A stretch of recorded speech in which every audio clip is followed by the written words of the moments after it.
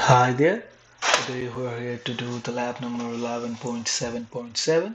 The name is configure a wireless infrastructure.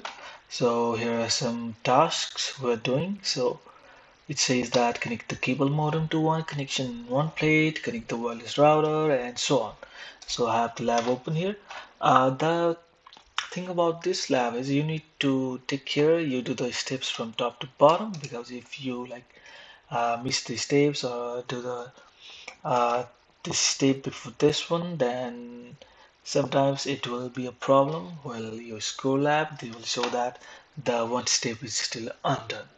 So be careful to do it from top to bottom. So let's go and do what it says. Connect the cable modem to the one connection on the one plate so let's come here. Let's get the cable modem here so let's connect this cable modem to one plate. So this is the now let's go to back. So let's insert it here. So the wall plate the partial connection goes on here. Okay so we connected the modem to the wall port. Now the next step is connect the wireless router to the cable modem. So let's connect the wireless router. Let's bring the router. Let's get it. Maybe if we can. Okay just here so that it will be easier. Let's go to the back of this one as well. Let's connect this these two the router and the modem using the RJ45 cable. The RJ45 goes here. And another partial connection goes here.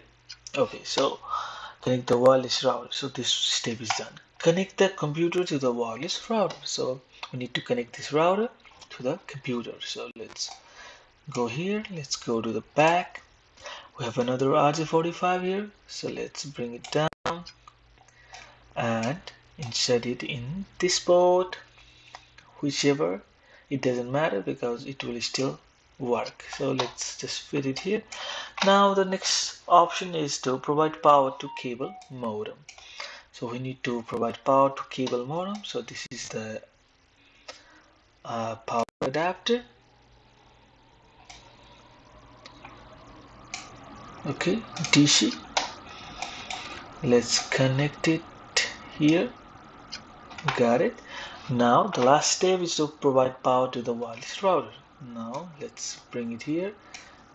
Let's do DC connection and the unconnected 3 pin plug to the port. So we are done here. So let's go to Windows. As we can see that we are getting the internet access.